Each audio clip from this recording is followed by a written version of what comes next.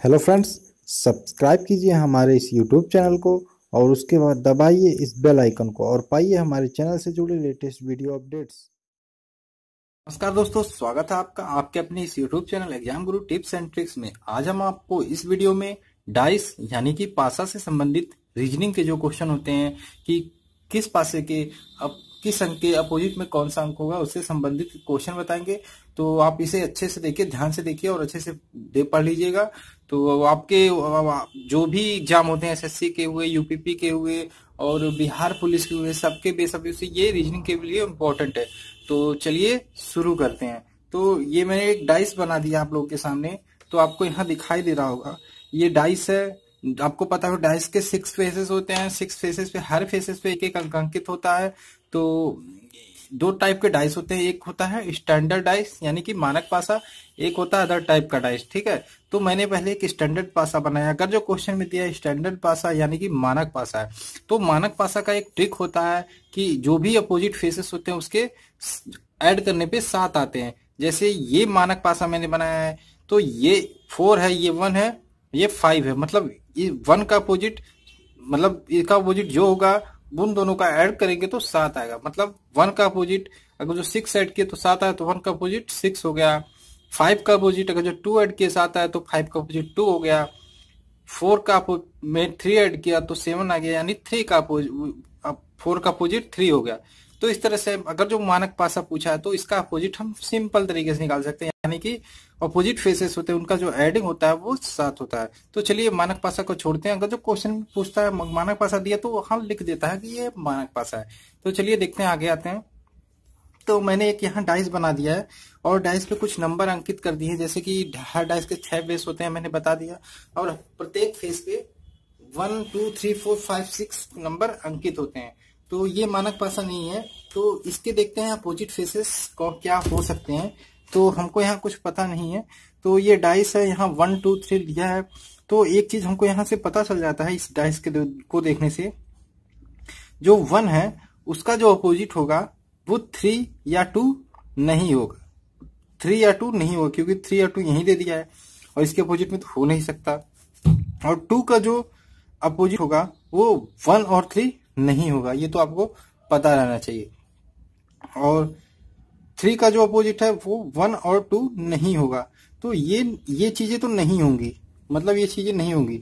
तो वन का अपोजिट क्या हो सकता है? थ्री और टू नहीं होगा वन भी नहीं होगा। ये हो सकता है फाइव फोर सिक्स इतने में से हो सकता है। और इसी तरह टू और थ्री का भी हो सकता है। लेकिन हमें यहाँ से एक चीज़ तो पता चल जाती है वन का अपोजिट थ्री और टू नहीं होगा। क्योंकि ये यहीं पे दिखाई देगा। हर जो पासे होते हैं डाइस होते हैं, उनके हमें थ्री फेसेस ही दिखाई देते हैं। और जो कहीं से भी हम रखेंगे, उनके हमें थ्री फेसेस ही दिखाई देंगे। तो थ्री फेसेस हमको यहाँ पे भी दिखाई दे रहे हैं। और एक दो, मैंने एक चीज़ यहाँ पे बनाई एक मानक पासा होता है, एक अदर टाइप का पासा होता है। तो मानक पासा के जो एडिंग होते हैं, वो सात होते हैं। तो उस तरह से आप निकाल सकते हैं। तो चलिए देखते हैं क्वेश्चन इस टाइप के कैसे हल होते हैं। रूल मैं रूल वाइज बताऊँगा। Rule number one rule number two rule number three rule number four चलिए शुरू करते हैं। रूल नंबर वन का क्वेश्चन आपके सामने है। तो इसमें क्या हुआ? दो पासे आपको दिखाई दे रहे होंगे और दोनों पासों पे हमें थ्री फेसेस दिखाई दे रहे होंगे। तो मैंने बताया था हर पासेस के थ्री फेसेस ही हमको दिखाई देते हैं।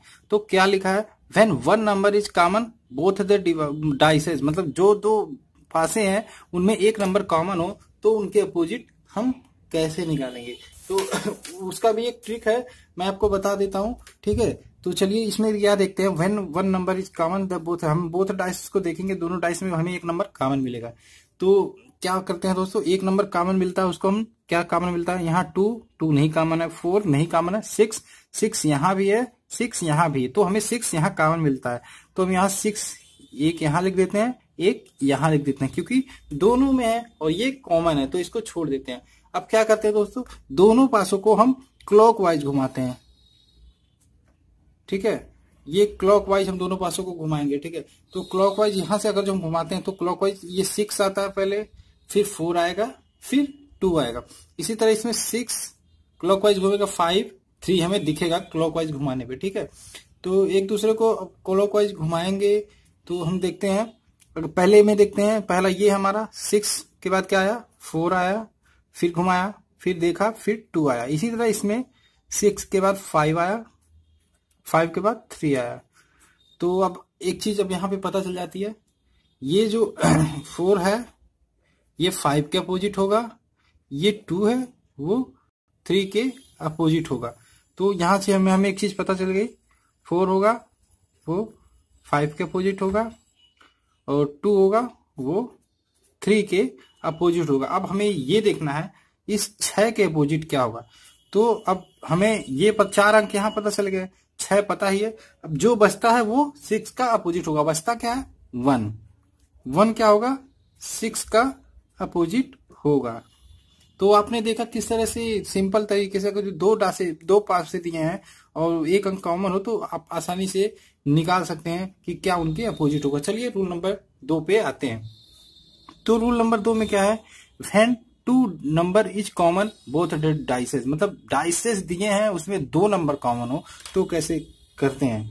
तो इसमें हमको देखा है तो सिक्स सिक्स कॉमन है, फोर फोर कॉमन है, और फाइव, वन, नहीं, फाइव कॉमन ही है। तो यहाँ पे दो नंबर हमको कॉमन मिल रहे हैं। तो एक चीज़ हम यहाँ पे जान लेते हैं, जब दो नंबर कॉमन होते हैं, ठीक है मतलब सिक्स कॉमन है, सिक्स है, फोर फोर कॉमन तो जो बचता है वो एक दूसरे के अपोजिट होते हैं। तो यहाँ पे हमें फाइव अपोजिट होगा वन के, ठीक है? और अब क्या बच रहा है? अब बच रहा है सिक्स व फोर।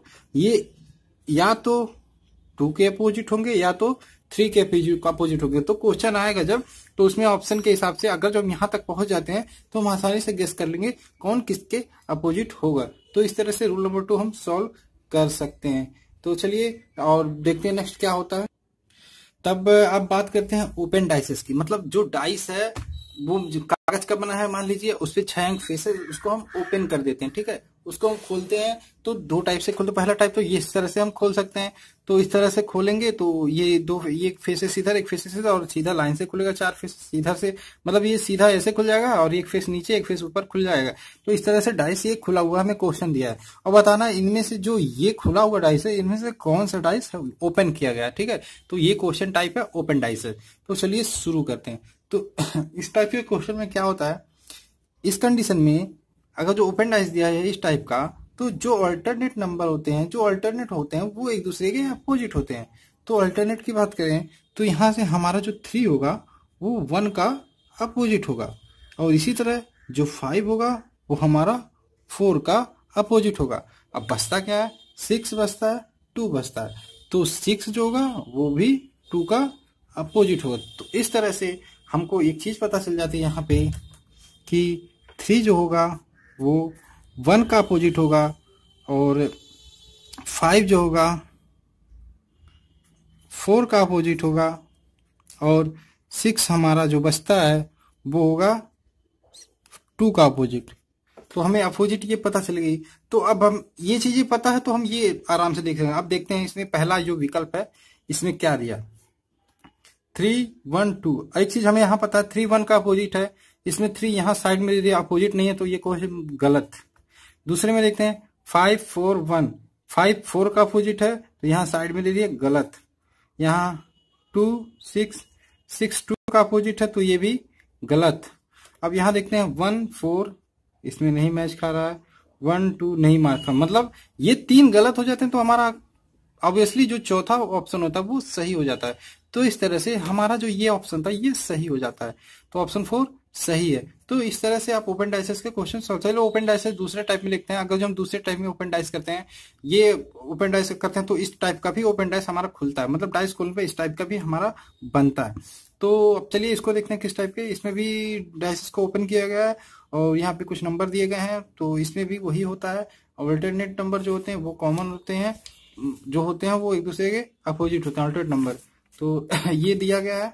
तो इसमें वही चीज़ वन फाइव का अपोजिट होगा फोर टू का अपोजिट होगा, बचता क्या है? थ्री सिक्स का अपोजिट होगा। तो यहाँ पे हम नोट कर लेते हैं पहले। सॉल्व करने से पहले, बस आपकी प्रैक्टिस अगर जो अच्छी हो जाती है तो आप आसानी से क्वेश्चन सॉल्व इस टाइप के क्वेश्चन कम से कम दस बारह सॉल्व कर लेते हैं। तो आपको एग्ज़ाम में ज़्यादा परेशानी नहीं होगी। आप देखते ही क्वेश्चन को पहचान जाएँगे कि कौन किसका अपोजिट होगा। तो आपके पास एग्ज़ाम में टाइम कम होता है तो इसलिए आपको प्रैक्टिस ही आपका जो एक साथ होता है, जो एग्ज़ाम में आपके काम आता है। तो चलिए देखते हैं कौन सा इसमें सही होगा। तो थ्री सिक्स का अपोजिट है तो यहाँ पे थ्री सिक्स दे दिया साइड में तो अपोजिट ये गलत हो जाता है। यहाँ पे देखते हैं फाइव टू का और थ्री फाइव ये हमें कुछ सही लगता है, लेकिन हमें चेक करने के लिए आगे देखना चाहिए। वन फाइव का वन फाइव का अपोजिट है तो यहाँ पे सामने भी ये गलत हो गया।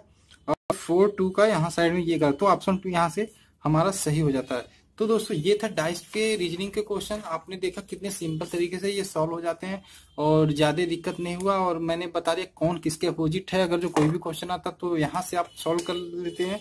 तो देखते रहिए exam guru tips and tricks अगर जो ये वीडियो पसंद आया या लाइक मतलब अच्छा लगा आपको तो लाइक ज़रूर कीजिए और अगर जो अपने दोस्तों को बताना चाहते हैं तो शेयर कीजिए और थैंक्स फॉर वॉचिंग अगर जो कहीं कोई प्रॉब्लम है तो कमेंट ज़रूर कीजिएगा। थैंक्स फॉर वॉचिंग मिलते हैं नेक्स्ट वीडियो में। Bye bye